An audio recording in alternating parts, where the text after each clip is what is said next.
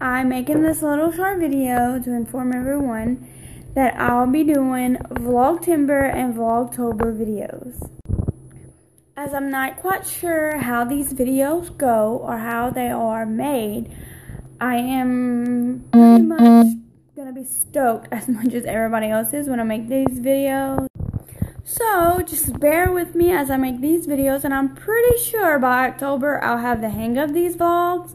But I do have help from my really close friend who does vlogs all the time. So I'm good with having many different ideas of videos to have each day. So stay tuned to videos or vlogs and I hope you enjoy them. Bye guys.